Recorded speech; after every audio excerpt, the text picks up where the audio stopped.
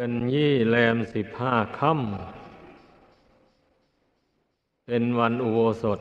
ทั้งของพระและทั้งของชาวบ้าน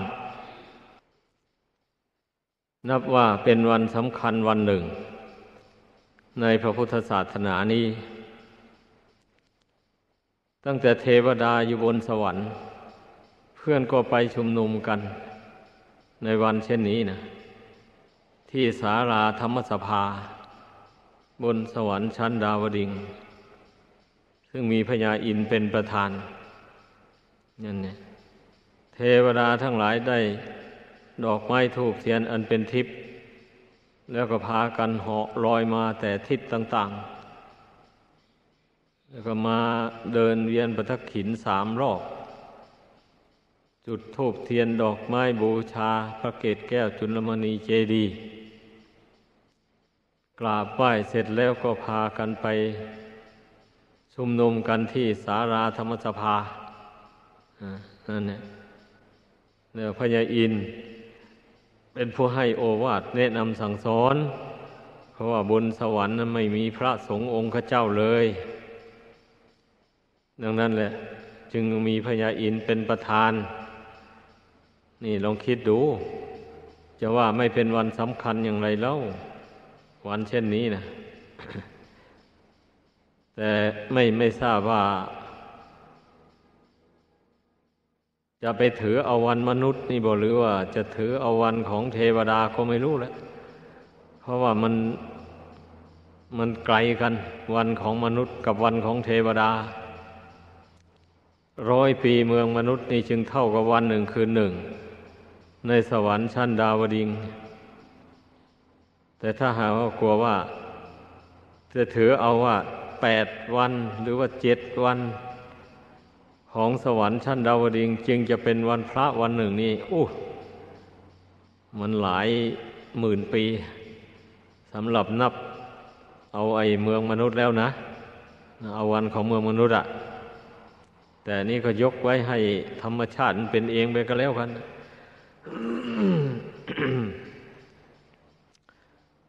ราะฉะนั้นวันอุโบสถแปดค่ำสิบห้าค่ำนี่จึงชื่อว่าเป็นวันสำคัญของชาวพุทธทั้งหลาย ผู้กำลังสั่งสมบุญกุศลบารมี เพื่อให้แก่กล้าขึ้นในจิตใจของตน ก็จะต้องตั้งใจ ถ้าเป็นทายกทายิกา ก็พยายามรักษาศีลอุโบสถ ชั่ววันหนึ่งคืนหนึ่งให้ได้อันนี้สงแห่งการรักษาโวสถศีลนนี่ ถ้าหากว่าได้เกิดไปในชาติต่อๆไปนั้นได้ ไปพบพระพุทธเจ้า พระองค์ใดพระองค์หนึ่ง เช่นนี้ก็จะมีจิตใจคิดอยากจะบวชเรียนเขียนอ่านอืม เมื่ออินทรีย์บารมีเหล่านี้มันแก่กล้าขึ้นอานิสงส์แห่งการรักษาอโบสถศีลเนี่ยนั่นแหละทำให้จิตใจน้อมไปในทางบวช ในทางเนกขมมะ คือว่าพูดอย่างง่ายๆว่าน้อมใจไปในทางที่ออกจากกามคุณ เมถุนสังโยชน์นี่แหละอานิสงส์แห่งการรักษาโบสถศีลนะ ทำให้เห็นโทษในกามคุณเหมือนอย่างพระภิกษุสามเณรก็ดี แม่ชีแม่ขาวที่มาบวชอยู่ในวัดวาอารามอย่างนี้นะ อันนี้มันก็เกิดจากอานิสงส์แห่งการรักษาศีลอุโบสถมาแต่ชาติก่อนหนหลังนั่นแหละ เป็นพระภิกษุสามเณร อย่างนี้นี่เข้าใจว่าชาติก่อนหนหลังนั่นก็คงได้บวชมา แต่ว่าอินทรีย์บารมียังไม่แก่กล้า เต็มที่ก็ยังบรรลุมรรคผลนิพพานยังไม่ได้ก่อน พอเกิดมาชาตินี้ได้มาพบพระพุทธศาสนา จึงได้มีศรัทธาออกบวช เมื่อบวชมาแล้วก็ไม่ศึก ตั้งใจประพฤติพรหมจรรย์เรื่อยไป นี่ก็ ก็เข้าใจว่าอานิสงส์แห่งการได้บวชมาแต่ชาติก่อนนั่นแหละ มันติดสอยห้อยตามมา เหมือนอย่างพระพุทธเจ้า ตอนที่พระองค์เป็นพระโพธิสัตว์อยู่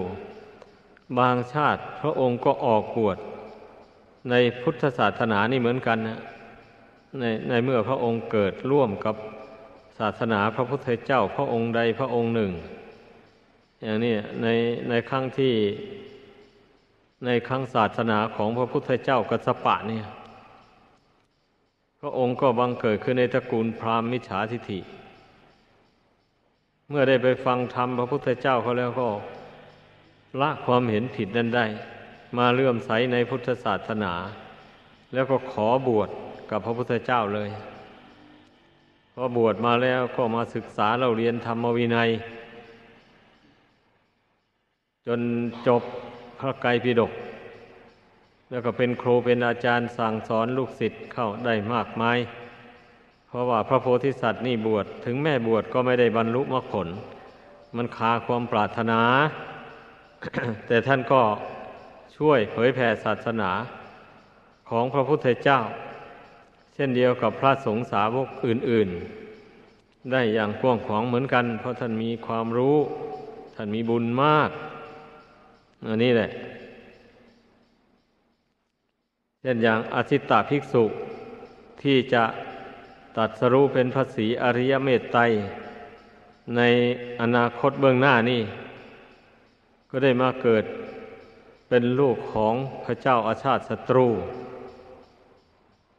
แล้วเมื่อเจริญไว้ใหญ่โตมา ก็เลยมีศรัทธาล่ำลามารดาบิดาไปบวช เมื่อไปบวชแล้วไม่ก็ไม่มีใครหรอกจะรู้ว่าเป็นพระศรีอริยเมตไตรนะพอดีในขณะนั้น พระนางมหาประชาบรีโคธมี ได้ทำผ้าไหมคู่หนึ่ง เพื่อที่จะเอาไปถวายพระศาสดาโดยตรงเลย เมื่อน้อมเข้าไปถวายพระองค์ พระองค์มันแนะนำให้ถวายแก่สงฆ์ พระนางอ้อนรอนยังไง พระองค์ก็ไม่ทรงรับ ทรงแนะนำให้ถวายแก่สงฆ์เอาก็น้อมเข้าไปถวายท่านภาษารีบุตรท่านภาษารีบุตรก็ไม่รับไปถวายแก่พระมหาโมคคัลลานะ ท่านก็ไม่รับ พระสงฆ์ตั้งสองหมื่นข้างนั้น อยู่ในกรุงกบิลพัทน้ น้องก็ไปถวายองค์ไหน องค์ไหนก็ไม่รับ ไปถึงองค์สุดท้าย ได้แก่อาชิตตาภิกษุ ภิกษุหนุ่มกว่าเพื่อนทั้งหมดอันพระอาชิตตาภิกษุก็รับมานี่รับเอาผ้าคู่นั้นนะพระนางมหาประชาบดีโคตมี เสียพระไทยเป็นอย่างยิ่ง เพราะว่า อันผ้าไหมอันนั้นตั้งใจลงมือปลูกฝ้าย ด้วยตนเองลดน้ำด้วยน้ำนม ด้วยด้วยน้ำทอง น้ำทองคำอะอย่างนี้ดอกฝ้ายนั้นจึงสีเหลืองเหมือนกับสีทองคำแล้วก็เก็บดอกฝ้ายด้วยตนเองแล้วก็เอามา ปั่นเป็นเส้นได้ด้วยตนเอง ลงมือทอด้วยตนเอง จนเป็นผ้าเนื้อละเอียดมากทีเดียว เพื่อเจาะจงยิบถวายพระศาสดา พระองค์ไม่ทรงรับ อันนี้เลยเมื่อเสียพระทัยอย่างนั้น พระองค์เจ้าทรงทราบอย่างนั้นก็ทรงแสดงปาฏิหาริย์บัดนี้ เอาบาทของพระองค์มาวางใส่ฝ่าพระหัตถ์แล้วก็อธิษฐาน ขอให้บาทใบนี้นะจงเลื่อนลอยไปสู่กีบเมฆนู่น แล้วอย่าให้ภาษาวกองค์ใดหาเอาได้เลย นอกจากอสิตาภิกษุองค์เดียวเท่านั้นพออธิษฐานอย่างนี้บาทก็เลื่อนลอยเข้าสู่กีบเมฆไปเลย พระองค์ก็ทรงรับสั่งให้ พระสาวกทั้งหลายนั้นไปตามหาบาทพระองค์นี่พระสาวกองค์ไหนที่มีฤทธิ์มีเดชท่านก็ไปแล้วเหาะไปแสวงหาจนทั่วทุกทิศ ทั้งบนอากาศ ทั้งบนดิน ทั้งบน ทั้งในน้ำก็ไม่พบเลย ไม่มีใครนำเอาบาตรมาถวายพระศาสดาได้เลย วันนี้พระองค์ส่วนอธิตาภิกษุท่านไม่มีฤทธิ์อะไรนี่ ท่านเหาะก็ไม่ได้ พระองค์เจ้าจึงทรงรับสั่ง อ้าวอธิตาภิกษุจงตามหาบาตรเราจะถาคตสิ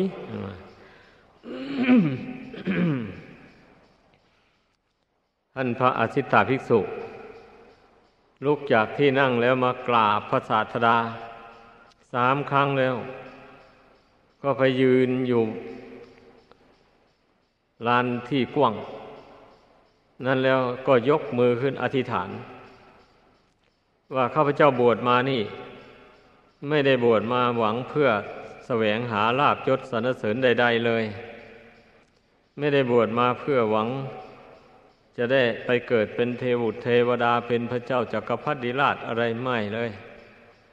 ข้าพเจ้าบวชมานี่เพื่อมาสร้างโพธิสมภารบารมี ให้แก่กล้าขอให้ได้ตัดสรู้เป็นพระพุทธเจ้าในอนาคตเบื้องหน้า อันนี้เป็นความสัตย์ความจริงของข้าพเจ้า ด้วยความสัตย์ความจริงอันนี้ หากมีจริงแล้วก็ขอให้บาท ทรงขององค์พระบรมศาสดาสัมมาสัมพุทธเจ้าจงเลื่อนลอย ลงมาสู่ฝ่ามือของข้าพเจ้าในบัดนี้ พอท่านอธิษฐานเสร็จ ท่านก็ยกแบมือไว้ ทันใดนั่นบาทของพระศาสดาก็เลื่อนลอยมา สู่ฝ่ามือของอธิตะภิกษุนั้น อธิตาภิกษุก็นำน้อมเข้าไปถวายพระศาสดา เมื่อพระนางมหาประชาบดีโคตมีเห็นบุญญาณุภาพ ของอธิตาภิกษุอย่างนั้นก็ดีอกดีใจ จึงได้คลายความทุกข์ความโศกอันนั้นลง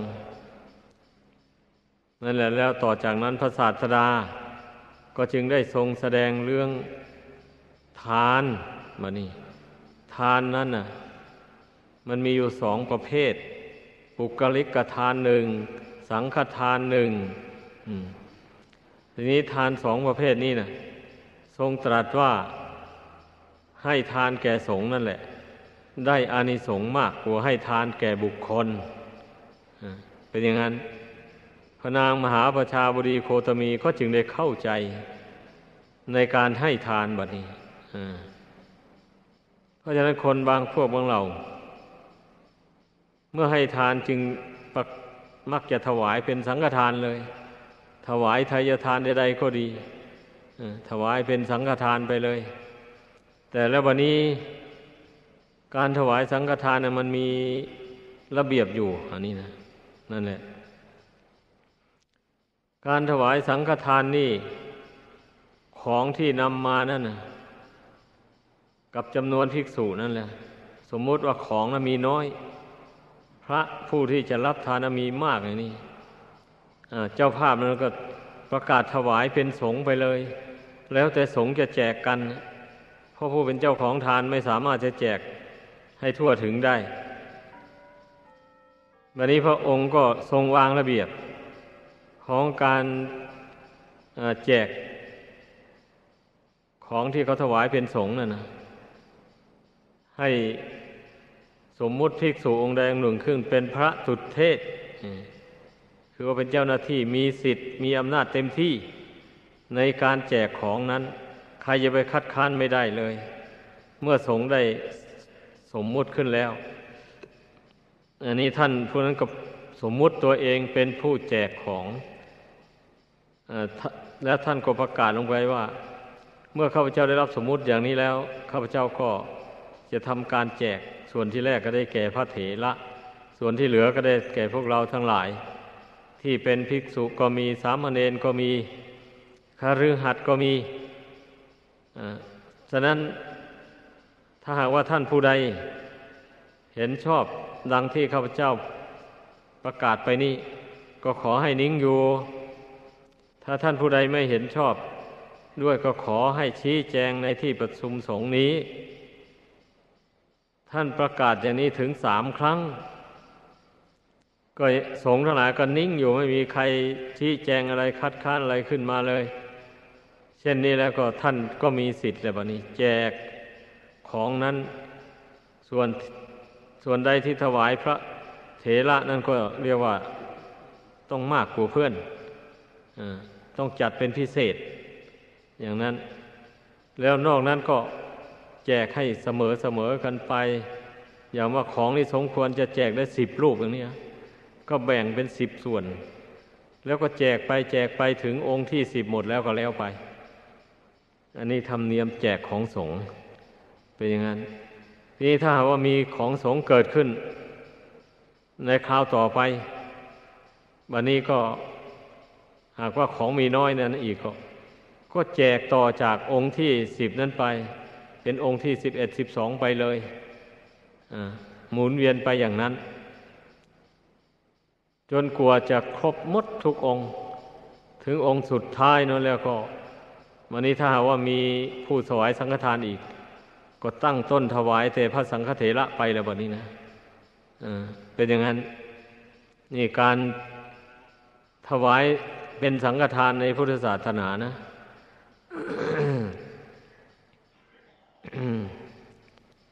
แล้วทีนี้บุคลิกทาน ได้แก่ให้ทานแก่บุคคลแบบนี้นะ เช่นว่าของทายทานนั้น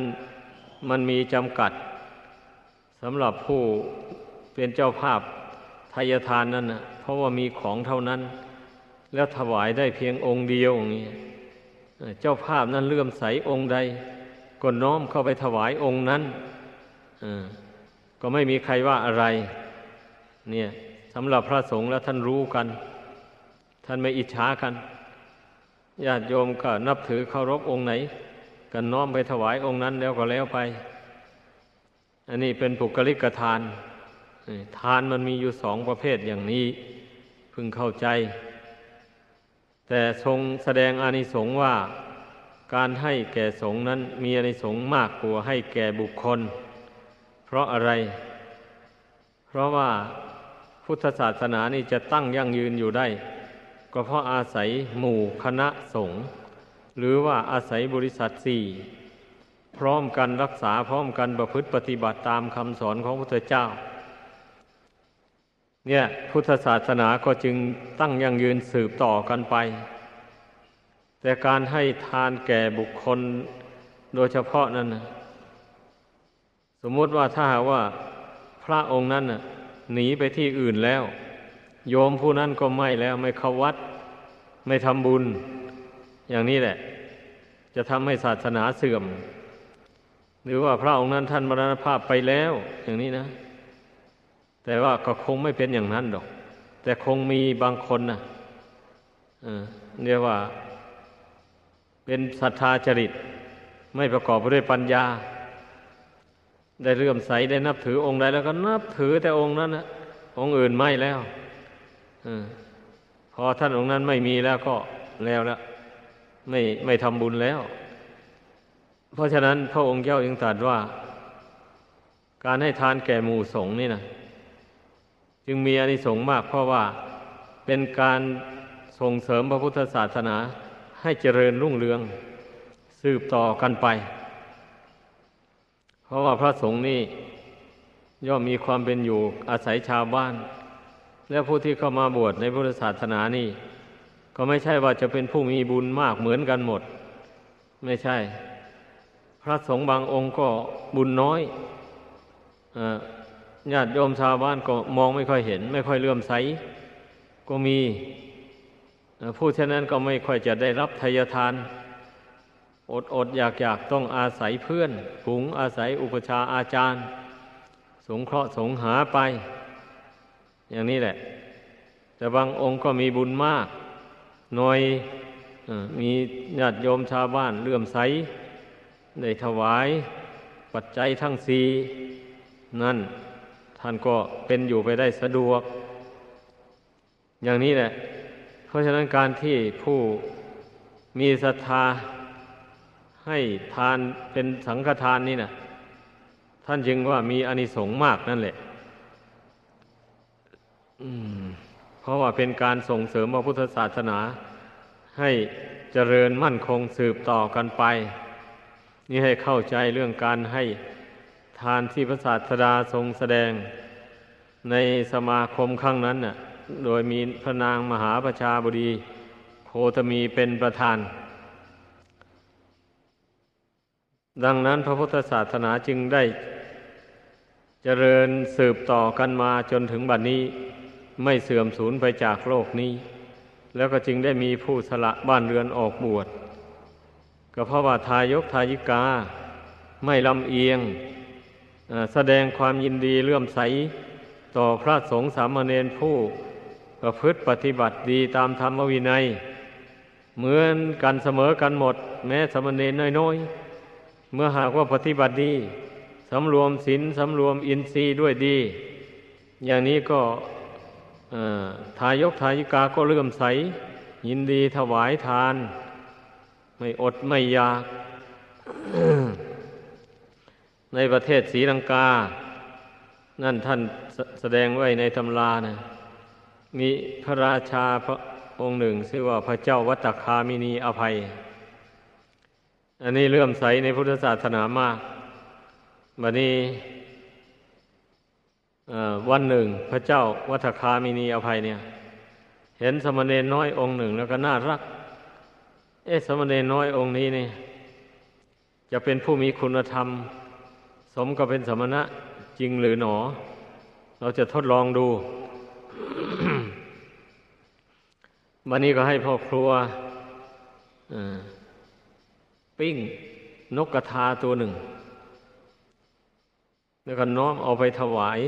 แก่สมณเณรน้อยนั้นสมณเณรน้อยก็เลยแบ่งนกกระทานั้นออกเป็นครึ่งหนึ่งเออเป็นสองส่วน ส่วนหนึ่งตนก็ฉัน ส่วนหนึ่งก็ให้คนเอาไป มอบให้พระราชาเสวยพ ระราชาได้เห็น ความมากน้อยสันโดษของสมเณรอย่างนั้น เลื่อมใสอย่างใหญ่โต ได้ถวายสำรับแก่สมเณรน้อยวันละแปดสำรับสมเณรได้รับอาหารวันละแปดสำรับอย่างนั้น ท่านก็เอาไปถวายพระถวายเนนถวายพระเจ้าพระสงฆ์ผู้ที่ขาดแคลนอาหาร ไปเลยตนเองก็เอาแต่พอฉัน เท่านั้นเลยอ่านี่แหละ ความเป็นผู้มักน้อยสันโดษของสมณะนี่นะ จึงชื่อว่ามีคุณมีประโยชน์ ต่อพระศาสนามากมาย ไม่ใช่ว่าจะมีแต่คุณประโยชน์แก่ตัวเอง ยังนำความเลื่อมใสมาให้แก่ประชาชน แม่เจ้าบ้านผ่านเมืองเพื่อนก็นับถือเลื่อมใสพระภิกษุสามเณรผู้มักน้อยสันโดษสำรวมตนด้วยดี อย่างนั้น เพราะฉะนั้นเนี่ยให้พึ่งพากันตั้งอกตั้งใจ ประพฤติปฏิบัติให้เป็นไป ให้เต็มความสามารถของตน ทั้งภิกษุ ทั้งสามเณรทั้งทายกทายิกา ทั้งผู้ครองเรือนทั้งหลาย ก็ให้ตั้งใจทนุบำรุงพระพุทธศาสนานี้ด้วยการปฏิบัติตามข้อวัดปฏิบัติที่ ตนได้อยู่ในฐานะที่ตนจะพึ่งปฏิบัติใจ เช่นผู้เป็นทายกทายิกา ก็ตั้งอยู่ในทานวัดขวนขวายในทานเสมอไป ตั้งอยู่ในศีลวัดพยายามรักษาศีลห้าศีลอุโบสถให้บริสุทธิ์พุทธพองให้ได้ ตั้งอยู่ในธรรมสาวนาใหม่สนใจในการฟังธรรมคำสอนของพระพุทธเจ้า สนใจในการไหวพระการภาวนา ฝึกฝนจิตใจของตนให้ให้มันมั่นคงให้มันเลื่อมใสนับ ยิ่งในคุณพระรัตนกรัยและเชื่อมั่นในบุญกุศลที่ตนทำว่าจะนำตนให้พ้นทุกข์ได้จริงๆไอ ไม่มีสิ่งอื่นที่จะนำตนให้พ้นทุกข์ได้ นอกจากบุญจากคุณนี้แล้วไม่มี เนี่ยฝึกจิตใจของตนให้มั่นอยู่ในบุญในคุณนี้ให้ได้ อย่างนี้เมื่อสะสมบุญคุณนี้ให้แก่กล้าขึ้นไปแล้วกิเลสอันมีอยู่ในใจมันก็ค่อยน้อยเบาบางออกไปเรื่อยๆ แม้ภิกษุสามเณรก็เหมือนกันเนี่ยเมื่อปฏิบัติตามไตรสิกขาคือศีลสมาธิปัญญานี่ ให้เต็มความสามารถของตนของตนแล้วอย่างนี้นะ กิเลสตัณหา อันมันหมักหมมอยู่ในจิตใจมานมนานนั้น มันก็จะค่อยเบาบางไป ทีละน้อยละน้อยไป เพราะว่า ศีลสมาธิปัญญานี่นะมันเป็นคุณธรรมที่กำจัดความโลภความโกรธความหลง ความอิจฉาพยาบาท อันเป็นฝ่ายอากุศลนี่นะ ออกจากจิตใจนี้ได้จริง ๆเลย เช่นยกตัวอย่างว่า ผู้เคารพในศีลจริง ๆ อย่างเนี้ยอ้าวถ้าใครมาชวนทะเลาะวิวาสอย่างนี้นึกได้เลยว่าถ้าขืนตอบโต้ไปนี่มันก็จะต่อยจะตีกันจะฆ่ากันศีลก็ขาด ไม่เอาแล้ว งดเว้นเลยอดทนหลีกหนีไม่ทะเลาะวิวาทกับใครเลยศีลจะขาดนี่ ช่นนี้ความโกรธมันก็เบาลงไปเลย เราผู้นั้นยึดเอาศีลเป็นอารมณ์นั่นเองแล้วพร้อมกันนั้น สมาธิก็มีสติควบคุมจิตให้ตั้งมั่นลงไป เพราะตนตนเคยทำสมาธิอย่างไรมา เคยควบคุมจิตอย่างไร ถึงเวลามีเหตุ อย่างนั้นกระทบกระทั่งเข้ามาก็มีสติควบคุมจิตให้ตั้งมั่นได้ ไม่ให้วันไหวไปตามความ อารมณ์เรื่องไม่ดีไม่งามต่าง ๆ เหล่านั้นนะนี่แหละสมาธิเนี่ยมันก็จังว่ามันเป็นเครื่องระงับความโลภความโกรธลงได้ แถมปัญญาอีกบะนี่เมื่ออดกั้นทนทานต่อความโกรธนั้นได้แล้ว ภายหลังก็มาใช้ปัญญาพิจารณา เห็นโทษแห่งความโกรธอันนั้น จริง ๆ เลย ความโกรธนี่นะที่มันโกรธ ผู้อื่นมันทะเลาะวิวาทบาดหมางผู้อื่นนะเพราะอะไร เพราะมันยึดถือขันห้านี้ว่าเป็นตัวเป็นตนเป็นเราเป็นเขา มันจะเกิดมานะแข็งกระด้างขึ้น ไม่ยอมสละไม่ยอมยกโทษ หรือว่าอภัยแก่ใครเลย นี่แหละ โทษของมันนะเมื่อปัญญามันเกิดขึ้นแล้วมันก็จะมองเห็นโทษแห่งความยึดถือ ขันห้าว่าเป็นตัวเป็นตนนะเมื่อมันเห็นอย่างนี้มันก็จะปล่อยวางจะไม่ยึดไม่ถือ ขันห้าว่าเป็นตัวเป็นตนเลย นี่มันก็ทำให้กิเลสนั้นเบาบางออกไปเลยความโกรธก็ยิ่งเบาไปหลาย เพราะปัญญาเกิดขึ้นแล้วปัญญาสอนจิตจิตไม่ยึดมั่นในความโกรธ ความโกรธมันก็ระงงับไปเรื่อยๆไปเป็นอย่างนี้แหละ ให้พึ่งพากันเข้าใจ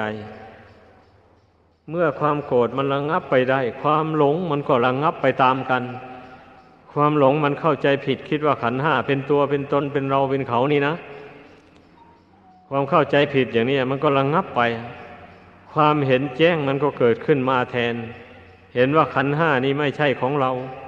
ถ้าเป็นของเราจริงมันก็ต้องยั่งยืนมันต้องบังคับได้